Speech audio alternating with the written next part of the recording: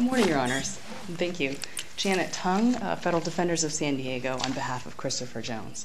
I'll try to keep my eye on the clock to see to reserve a couple minutes. Great, thank you. There's only one issue in this appeal today, and it concerns the second prong of the Bills versus Clark equitable tolling test. And the Bills test, of course, is a two prong test where the first prong looks at the habeas petitioner and asks if he had a mental impairment that was so severe it prevented him from filing a timely federal petition. And the second prong, of course, asks if he was diligent, if he, in fact, had this mental impairment, if he was diligent in seeking assistance of others or finding some other means of having his federal petition filed. And we are in this we are in the, the posture today where diligence, the second prong, is the only prong we're looking at because the first prong has already been established. The district court has found that Mr. Jones has severe mental impairments and that he is personally incapable of filing a habeas petition on his own. And that's based on an undisputed factual basis. Mr. Jones is a person who has an IQ of 57, and that's that's below 99.8% of the population. I think everybody agrees he's got serious problems. The magistrate judge found significant that despite these problems, he was able to file a state habeas, he was able to file grievances and other things. What's your what's your answer to that? Thank you, Judge Silverman. That's correct. The magistrate and then later the district court found that that was um, a very important aspect of the case, and they relied mostly on the fact that he had state habeas petitions and um, 602 filings. And, and, and I, I, do think you're right, we should, I should focus on those. The state habeas petitions in particular, there were four such filings in the course of the 16 years or so that he was in custody before his federal petition was filed. And they consisted of filings in the Superior Court and then later the Appellate Court and then later the Supreme Court. And then uh, one just a few months before his federal petition was filed again in the Superior Court, all of which were dismissed out of hand by the, states, the state courts. Now, these petitions came about, um, I think it's very important how these petitions came about. And they came about because uh, through the inmates who helped him actually tell us in the it's it's in the excerpts of record how he was able to have these petitions filed on his behalf. And the first one that we know about is Leon Davis, and he tells us on I think it's ER 197, 198 that that um, he and Mr. Jones were cellmates, and it was Leon Davis who initiated asking Mr. Jones about his case because Mr. Jones never understood what was happening with his case. Leon, and, and Leon Davis could tell this from knowing him as his cellmate. And he was the one who asked Mr. Jones what was going on. He says Mr. Jones was not uh, able to participate or communicate effectively about his case. And Leon Davis says, I learned what I needed to know by looking through the paperwork myself. The extent of Mr. Jones's help was simply handing me his paperwork. And I'm, I'm going through this because I think it's critical to the uh, legal status of the case. Theodis Golden, later on ER 205, another person who helps him with the petition, has a less detailed account, but it's, it's consistent. And then if we look all the way towards the end, uh, to the person who helped him prepare his federal petition, Joseph Gallardo, in 2009, he tells almost the same the same type of story. And he says on ER 207, he explains that he was in the prison law library and he notices a black man sitting around looking confused and frustrated and going around in circles. And this turns out to be Mr. Jones. Now, Mr. Gallardo is the one who initiates. He asks him what he's doing. Mr. Jones um, had documents in his hands, and it appeared as though he didn't know what to do with the papers. So they talk a little bit, and Gallardo fi- finds out Um, that that the papers are a habeas petition be filed in state court. He asks him, why are you still in state court after all these years? And Mr. Jones, this is Mr. Gallardo saying, did not appear to understand. He received assistance from other inmates and he was trying to do what he was told. Later on, he decides to help him, and what happens is he finds out that Mr. Jones doesn't understand the differences between state and federal court. He just doesn't know.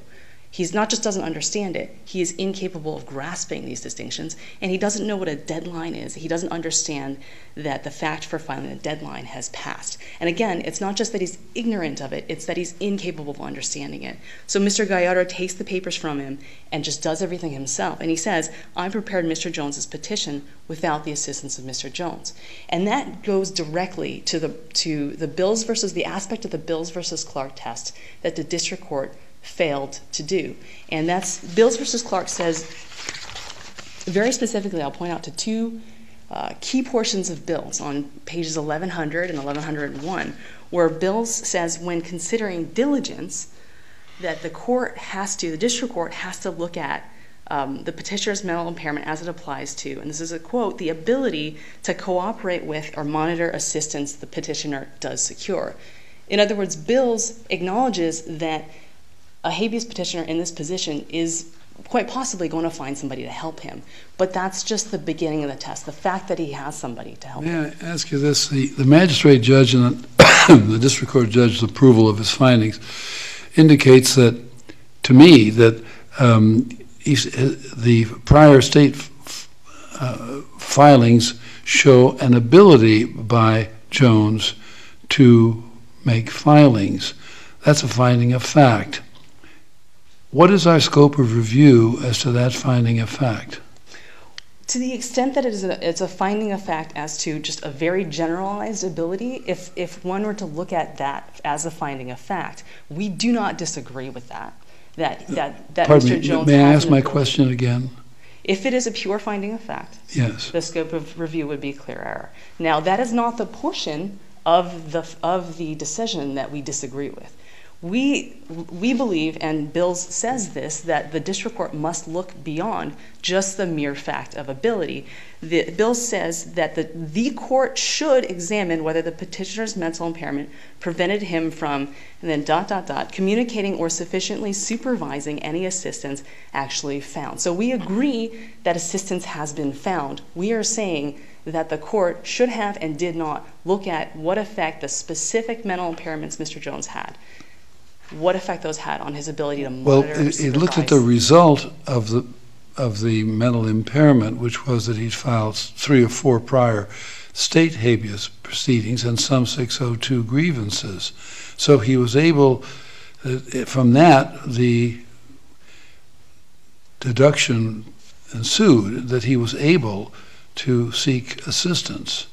And if he was able to seek assistance, and so was so found by the district court, and we're reviewing for clear error, can we say that, the, that this was an abuse of discretion as to fact finding? I, I disagree that we are reviewing for clear error. I agree. I, I thought you just told me that. I did because we, I think we, we don't we don't necessarily see eye to eye on what is being reviewed. Oh, okay. I, I, I agree that in that he was assisted in the sense that that counts as an ability. Oh, you say he was, he was assisted, but that doesn't show that he was able to get assistance. Well, what we're we, he was able in the sense that assistance was offered to him, and again, I would refer your honors to page 198 of the excerpts of record, to uh, 205 and 207, that show exactly how that assistance came about. Is typically the the other inmates took pity on this individual and said, "Give me your papers, I will help you." If we look at the 602 petitions, the prison complaint forms, we'll see that the majority of those complaint forms are actually group complaint forms. So there was complaints where that where one, in one, for example, the entire black inmate population of facility D felt they were discriminated against. So we have 50 or so inmates sign on. So there's these group petitions, which which is is we see is not a case of Mr. Jones thinking to himself, "Gee, I feel discriminated against. This seems like a cause of action. I'm going to go out and find assistance." It's So your position is is it was, for the it was plainly, it was simply uh, uh, circumstances, uh, an aleatory situation where he, he happened to get assistance doesn't show that he was able to request assistance. That is part of my position, the, the, but also importantly, my position is that he was incapable of supervising, monitoring, and cooperating with the assistants in such a way that, that Bills asked. If I may make, I, I think, uh, Judge Bea, if I may make a point that I'm not sure that the, my briefs adequately bring out.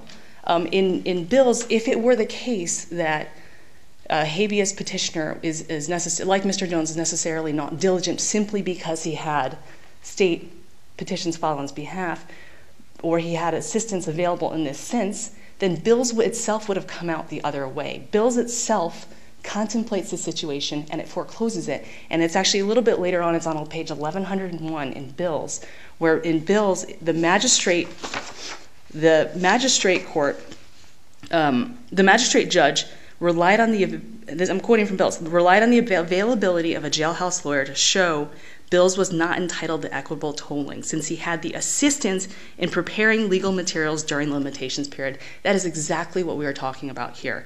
And, and Bills says that is the beginning of the inquiry. We need to look at the ability uh, due to the mental impairment or modified by the mental impairment, limited by the mental impairment, his ability to mon- monitor or, or supervise that, that assistance. Thank you, uh, Ms. Tung.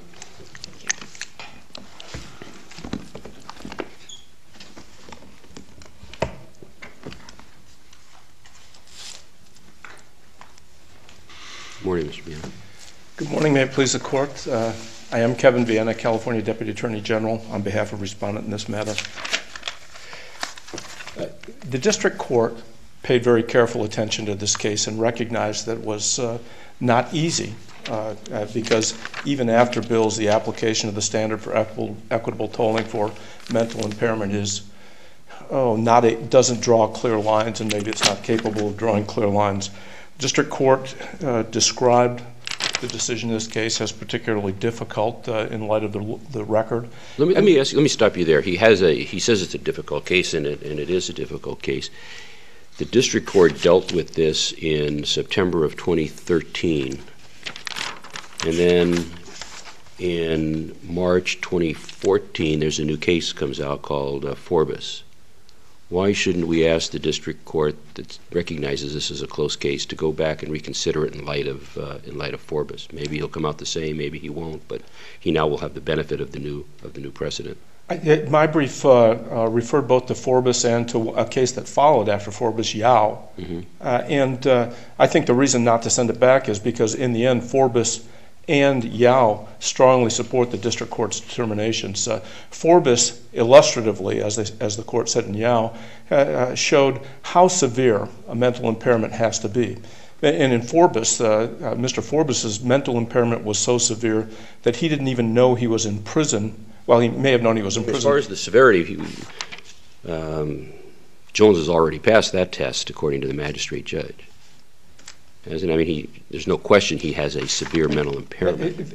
Right, but the, the question is how severe it is and, and how that affects his ability to seek assistance and uh, obtain assistance and file. And the significance of, uh, of Forbess is that uh, his impairment made it such that he would not even know of the need to seek assistance because he thought he was essentially in a, a witness protection plan. Uh, Mr. Mr. Jones' impairment is a great deal short of that. That is, uh, uh, uh, the record shows that, uh, well, the record shows clearly that he did seek. Uh, that he did seek relief on a number of occasions uh, between 2003 and 2006. Ms. Tung makes the point that the assistance sort of came to him. He didn't seek it out. The she points to at least uh, two people who provided him assistance who suggested that maybe it came to him. And, and uh, I wouldn't suggest that that's not important, but there were other folks who provided him assistance over the years. And uh, by my count, uh, Roberts, Gallardo, Jones, Davis, and an unnamed Cuban. So he regularly was able to find assistance either to assist in his processing of 602s or to file habeas corpus petitions. The question here is whether the assistance found him or he found the assistance. I mean, if you take Gallardo's uh, recollection of the events, he has Jones walking around in circles with a bunch of papers in his hand and not knowing what's going on. And like a good Samaritan, uh, Gallardo goes and, and helps him. Uh, that doesn't show me, anyway, if, that relation is complete, that uh, Mr. Jones has the ability to seek out Gallardo. The uh, what what the inference that seems correct. That is, if Mr. if Mr. Jones sat in a corner and, was unable to do anything, and someone just walked over and picked up his papers and said, "I wonder if I should file a habeas corpus petition for him," we would agree that that level of incompetence would warrant equitable tolling. Uh, but Jones doesn't show that level of incompetence over, over the period of time. Mr. Vienna, could, could you concentrate on uh, the procedural question I asked Ms. Tung, which is if there is a finding by the district court that Mr. Jones had the ability to seek um, assistance, and we're reviewing for clear error, don't we grant don't we have to grant deference to that district court finding? I think so, Your Honor. The, uh, I, actually, I spent a good deal of time in the uh, uh, in, the, in our brief in, on the standard of review, uh, addressing the difficulty of the standard and about and what is factual and what is not factual. But certainly, ability seems to be factual. Based on that, can, can you can you tell me what evidence there is in the record to sustain a finding by the district court that actually Jones sought assistance from anyone, Gallardo or the Priors? I, think uh, it comes largely from this the fact that he, that he received assistance permits, and one other thing that is, he related in the course of assistance information that seems to have been available only to him. Uh, one of the claims that he continues to press is that uh, he received ineffective assistance of counsel at trial because his counsel failed to present a voluntary intoxication defense. Uh, uh those folks who, uh, those folks who uh, may have been assisting him, Gallardo and Jones, for example, who, who may have uh, taken the initiative to say, Can I give you some help? could not, or it seems could not have done that, or could not have included that without his cooperation and without his information and without his competent recollection of the events that preceded the crime. Uh, so, so, so, so this circumstance is a good deal different from someone who sits in a corner, uh, unable to seek or engage individuals who are assisting him. Um, the, uh, the, the fact, for example, that he's walking around in the library and seems confused, uh, uh, I, I, would say that might apply to me on occasion. But uh, habeas corpus is difficult. The fact that on a number of occasions he doesn't understand habeas corpus or legal terms does not show, the, does not show that he's unable to recognize that he's in prison, he doesn't want to be there, and he thinks there's a basis for his uh, for his relief. And part of that basis, the ineffective assistance of counsel claim, relies on his memory, understanding, and uh, recognition that he thinks something went wrong. Okay. The uh, beyond that, we, we think that I, I just uh, Yao, I think, largely helps our helps our position. There are. I, I was looking uh, yesterday at uh, citations to Yao, and there are several in the district courts. I can provide those to the court uh, if you would like. Let's say that the, the ability to file multiple claims provides an inference of ability. Uh, that inference of ability uh, was drawn by the district court in that in this case, and that doesn't seem to be an abuse of discretion. It doesn't seem to be clear error. If there are no other questions. I guess not. Mr. Vienna, thank you. Thank you, Your Honor. Ms. Tung, you're, you're just about out of time. We'll give you a minute in rebuttal. What does Yao do, do for you? I think Judge Silverman, Judge Silverman, Silverman, excuse me, I think you're correct that Yao is is inapposite for the for the purpose because that because um, in Yao the major distinction between that case and this case is that we don't have a showing in Yao of, of his mental inca- in, incapacity of preparing a, a federal petition. Now, the, the only additional point. But, but wait a minute, Mr. Vienna cited the, the holding of Yao to be that the actual filing of several claims indicates the ability to seek aid in filing claims. In Yao, uh, in Yao, uh, the petitioner there had actually he's complaining that he had a language barrier. There are the instances that is cited to in that opinion that show he had access to to uh, to ability, or I'm sorry, to assistance, um, showed that he had access to to surmount that language barrier.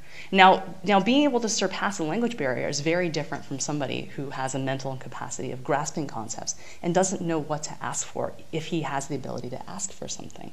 In the in addition, additionally in Yao, the um, petitioner also complained about some generalized mental mental uh, incapacities, but he didn't have he didn't have the expert the um, expert declarations to support him. We've had numerous expert examinations. We've established through again uncontested expert evidence that Mr. Jones is not only does not grasp, but he's actually incapable of grasping.